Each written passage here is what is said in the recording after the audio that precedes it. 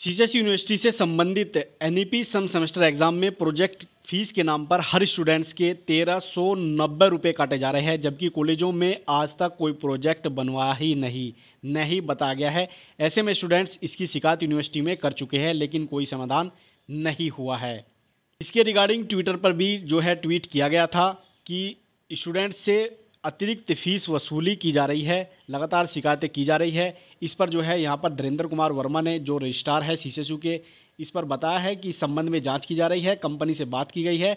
दिखवाया जा रहा है किस चीज़ का पैसा काटा जा रहा है। अगर वास्तव में कुछ गलत पा जाता है तो संबंध में कुछ ना कुछ जल्द किया जाएगा। उसके बाद आज की न्यूज़ है, इसमें है कि पाँचवें सेमेस्टर के बाद छठे सेमेस्टर में भी ले रहे हैं project fees. Self finance college महाविद्यालय संघ ने फॉर्म भरने के नाम पर आर्थिक उत्पीड़न का लगाया आरोप। उसके साथ ही एमए में भी ली गई प्रोजेक्ट फ़ीस। सुधार होने तक हज़ारों छात्र भर चुके हैं शुल्क। पाँचवें सेमेस्टर में प्रोजेक्ट फ़ीस लेने के बाद छठे में भी ले रहे हैं शुल्क।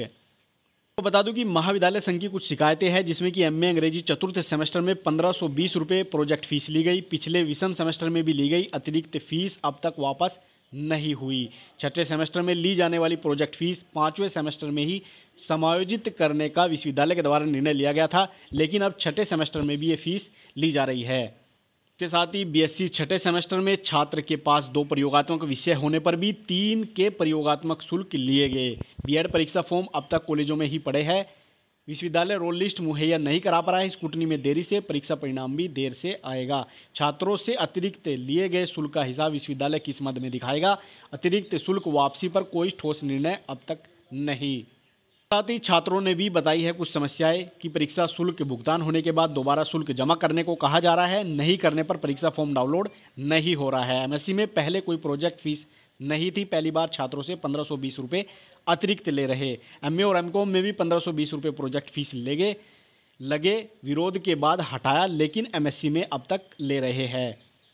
एनईपी छठे सेमेस्टर में प्रोजेक्ट के नाम पर तेरह सौ नब्बे रुपये ले रहे लेकिन कॉलेजों में कोई प्रोजेक्ट कार्य हुआ ही नहीं।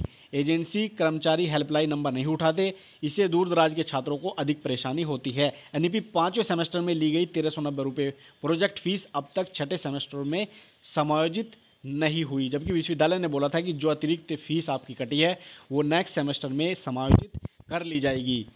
इस पर धीरेन्द्र कुमार वर्मा, जो रजिस्ट्रार है सीसीएस यूनिवर्सिटी के, इन्होंने कहा है कि वापस करेंगे छात्रों की अतिरिक्त फ़ीस। सीसीएसयू के कुलपति धीरेन्द्र कुमार वर्मा ने कहा कि विभिन्न पाठ्यक्रमों में जिन छात्रों के अतिरिक्त शुल्क कटे हैं, उनकी राशि उसी खाते में वापस होगी। जिन खातों, जिन छात्रों ने साइबर कैफ़े वाले खातों से शुल्क जमा कराया है, वह अपने आधार कार्ड के साथ बैंक विवरण लगाकर आवेदन कर सकते हैं।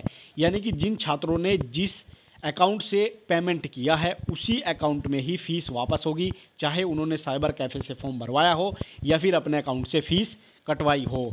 अगर आपने साइबर कैफ़े से फॉर्म भरवाया है, यानी उसके अकाउंट से फ़ीस कटवाई है तो उन्हीं के खाते में आपका पैसा आएगा, या फिर आप अपने आधार कार्ड के साथ में अपने बैंक विवरण को लगा करके आवेदन कर सकते हैं, उसके बाद आपके खाते में आपका पैसा आ जाएगा। अब देखते हैं विश्वविद्यालय ये पैसा कब तक वापस करता है। जैसे इसके रिगार्डिंग को लेटेस्ट अपडेट आती है तो आपको वीडियो के माध्यम से बताया जाएगा। साथ में आपको टेलीग्राम ग्रुप में भी सूचना दी जाएगी। इसके साथ ही एमएस यूनिवर्सिटी यानी कि मास अकबर यूनिवर्सिटी सहारनपुर की बात करें तो BEd back paper examination first year second year B Ed M M को मैन एग्ज़ाम सेकेंड ईयर और ex examination form first second year और main examination form first year second year third year के students के जो last date थी, उसको विस्तारित किया गया है।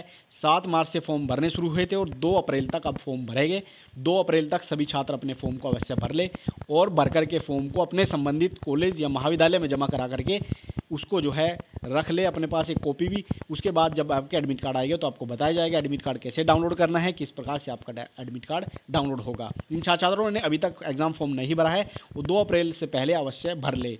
अगर आपके कोई भी क्वेश्चन से क्वेरी है तो हमें कमेंट करें। साथ में हमें फेसबुक टेलीग्राम इंस्टा आदि पर फॉलो कर ले। उसके साथ ही अगर आप चैनल पर नए हो और पहली बार वीडियो पर विज़िट किया है तो प्लीज़ चैनल को ज़रूर सब्सक्राइब कर ले। साथ में बेलकन को ज़रूर दबा ले। तो मिलते हो लेटेस्ट अपडेट के साथ। तब तक के लिए जय हिंद।